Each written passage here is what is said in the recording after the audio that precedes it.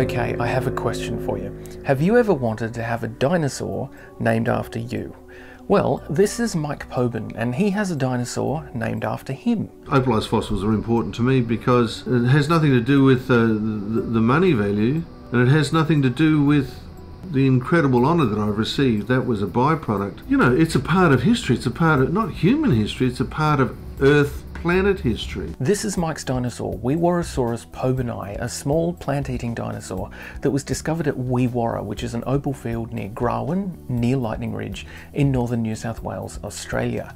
These are the incredible fossils that Mike found, which are parts of the jawbone and teeth of the tiny dinosaur. I spoke to Mike and to Dr. Phil Bell of the University of New England, Armidale, about the discovery of the fossils, identification of the dinosaur, and the naming of the species. My uh, immediate reaction when I saw this was there was nothing like it out there. In order to have a dinosaur named after you, the first thing you need to do is find one. Finding a fossil isn't easy though, you need to know what you're looking for, and to know that, you need to have an interest in the anatomy and the formation of fossils. In Mike's case, this was the culmination of an unlikely series of events leading all the way from his childhood to now. Now, I was always fascinated um, with dinosaurs when I was a, a kid and fossilized bones and fossilized remains in general.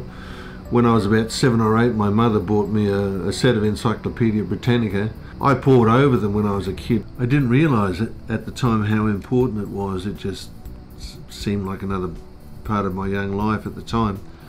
Uh, a friend of mine and I, I was uh, 16 and he was, I don't know, 19 or 20 we decided to go for an adventure. On the way back, we were stranded by floodwaters in Coober. I didn't know anything about Coober. I had a rough idea that opal came from Coober but I didn't know anything about it and had no particular interest in it. But when you're stranded in Coober there's not much to do except go out onto the discarded mullock heaps and have a scratch around and see what you can find. And um, I was sitting in sunshine. It was a lovely uh, spring September type day and I saw this somewhat rounded piece and picked it up and rubbed the dirt off it and licked one end where it had been broken.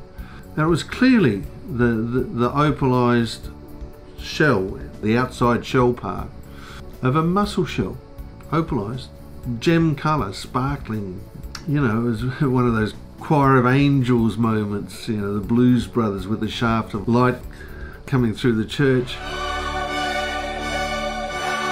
I, I didn't realise that that moment, you know, would change my life and, and bring me here. The unlikely sequence of events was my business was hit badly when the GFC hit, and I actually went back to contract teaching. But in uh, June of 2013, I was teaching, and the contract was due to run out. But if that contract had been renewed, I wouldn't even have come back to the ridge. Mike's career in the opal industry has taken him from Coober Pedy in South Australia to Lightning Ridge in New South Wales. While Mike's business is gem opal, Mike's personal interests keep him hunting for fossil material. Mike found the jawbone of Weewarrasaurus in a parcel of rough opal where his knowledge of fossil formations helped him to differentiate it from all of the other randomly shaped stones. It was my holy grail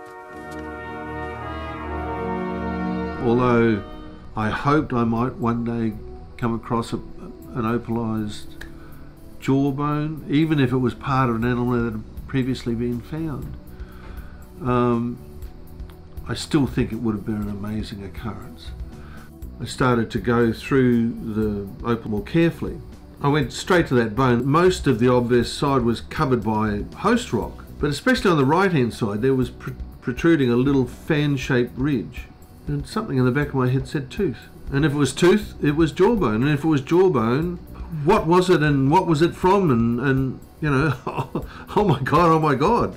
I kept the two pieces as my special little secret for a couple of years. Every now and then when I met somebody who was interested in that kind of thing, I'd, I'd dig them out and show them to, to them and they'd go, oh wow, that looks like jawbone. What is it? I don't know.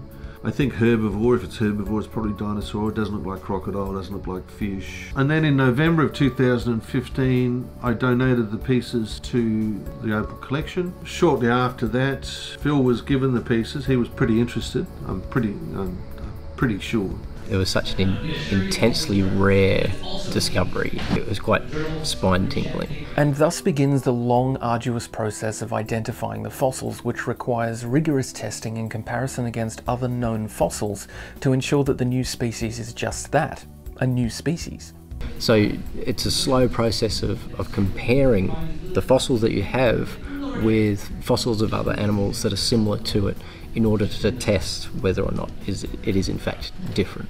It took him two incredible, crazy, hard-working years to identify and eventually prove that it was a new species. Dr. Bell showed us the amazing pieces which are now in the collection of the Australian Opal Centre. So this is the lower jaw from the right side of Weewarrasaurus pobeni. This is the, the front end of the jaw here, going back into the, the back end. Now we're missing parts of it, including the this middle section and also the, the back end which would have formed the, the, jaw joint with the, the remainder of the skull. And we actually CAT scanned this jaw to look at the, the teeth that are developing inside the jaw, as well as to look at the roots, the shape of the roots of the teeth that you can already see. Because all of those things have important anatomical clues that tell us what this animal actually is.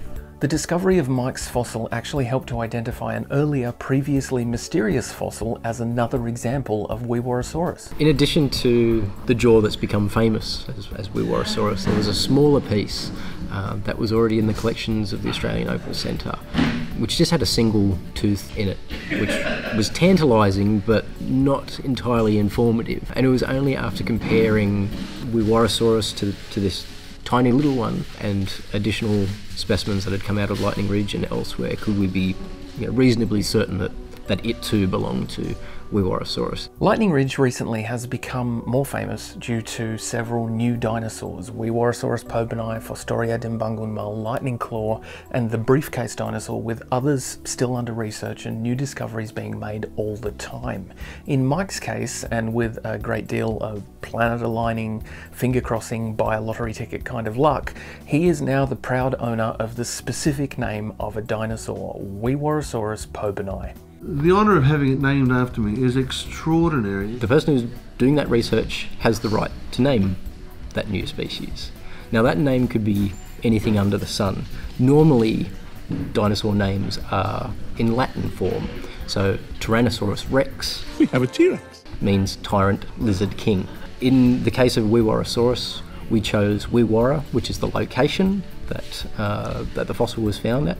Saurus means lizard, and then Pobeni is the Latinization of Mike Poben's last name, so that honours his contribution, his discovery of this very fossil. It's just a tremendous honour. I think having my name attached to it is an honour disproportionate to my actual contribution, and I mean that sincerely.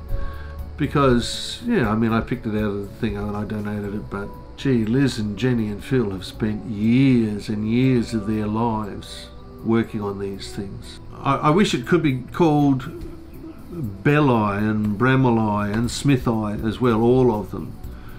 And I especially think that Phil's contribution has been massive compared to what I actually did. So what do we know about Weewarrasaurus pobeni? Well, quite a bit actually, which is amazing because as you've already seen, we've only got a couple of tiny bits of jawbone and a few teeth to learn all of this from. Based on the size of this jaw, Weewarrasaurus was a small animal, probably no bigger than a kelpie or a wallaby. These teeth were perfectly designed for shearing plants, so this was a herbivorous dinosaur. Based on comparisons with similar looking animals, dinosaurs that we have better skeletons of. This would have been a, an animal that got around on two legs. It probably moved in, in herds. They're moving in herds. It didn't have much in the way of defences, so herding um, and sticking with your family is a, is a pretty good uh, defence mechanism, um, safety in numbers. These animals were probably relatively common uh, around Lightning Ridge. Although there's only these two jaws that we know of this species, this broader group of animals, what we call ornithopods, uh, was quite common here among the most commonly recovered fossils that, um, that we find. So that this suggests that these animals were you know, quite numerous, again moving around in herds They do move in herds. uh, and feeding on the, the lush vegetation that, that would have surrounded the waterways uh, of Lightning Ridge 100 million years ago. People are often amazed that you can figure out what an animal looked like based on you know, two fragments of bone or even determine that it's a new species. It's all about understanding anatomy, um, understanding, I guess, the larger picture of what these animals generally look like. So we have perfectly preserved skeletons of these type of animals, these ornithopods, from uh, from China, Mongolia, the States, which gives us a much clearer idea of what these animals look like. So it's from comparing you know, these very distinctive teeth that identify this as an ornithopod dinosaur and comparing those with you know, these better known skeletons that we can get a, a picture of what this thing probably looked like. Liz researched the words Weewarra, which is the region where it came from. And they're indigenous words which mean standing fire, which I imagine is a description of those little whirly whirlies in a, in a bushfire, like a little. After I saw James's illustration, I keep thinking of Weewarrasaurus standing in the fire of opal. It's it's an amazing coincidence to me. I love the fact that it's called Weewarrasaurus, lizard from Weewarra, standing fire. I asked Mike what it's like to have a dinosaur named after you, especially after a lifetime of fascination with opal, fossils, and dinosaurs. What was going through his mind during the two years of waiting for the formal identification process to be completed? My gut hope was that it would be a new species, in which case it would probably have my surname attached to it. If it turned out to be not a new species but part of a pre existing species and just added more information to the puzzle, you know, solved more problems, answered more questions, that would have been enough for me. I would have been perfectly happy with that. On a personal level, um, it's hard to explain how little events from my childhood, like getting the Encyclopedia Britannica, sitting on a dump of dirt in Coober Pedy, going to Coober Pedy later on and sifting through looking for bits of rocks, moving to Coober Pedy, mining, seeing much more opal, seeing more opalized specimens, then the the move to coming over to Lightning Ridge, how all of those things have come together with the discovery of Weewarrasaurus. And it's it's just I don't know, it's like it's mm, closed a chapter in my life or something, or just brought things together that I didn't really think were together. I, I look for them every day, and I can't see myself ever not doing this. It's a part of history. It's a part of not human history. It's a part of Earth planet history. It it tells us not where we've come from, but it's a part of where the Earth has come from. And I think they're all important in that in that respect. I mean, what people think is important and what not is going to vary from individual to individual. I get that, but I just think we need to know more and more about the past. This video was made with the support and participation of the Australian Opal Centre in Lightning Ridge. If you visit Lightning Ridge, you should absolutely visit the Australian Opal Centre. The centre hosts an annual fossil dig where you can join a team of enthusiasts and experts and help discover amazing opalized fossils. Maybe you could find a dinosaur of your own. Special thanks to Mike Poben, Dr. Phil Bell from UNE Armidale, James Kuether, Bob Smith, and all the amazing people at the Australian Opal Centre, and everyone else who helps me to do this. If you enjoyed this video, please consider subscribing on YouTube and following along on social media.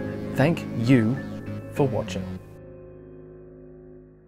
I knew then, I knew then pretty much that I was going to donate the specimens to the Australian Opal collection here, which you should all come and see. All 10 of you at 5 o'clock in the morning.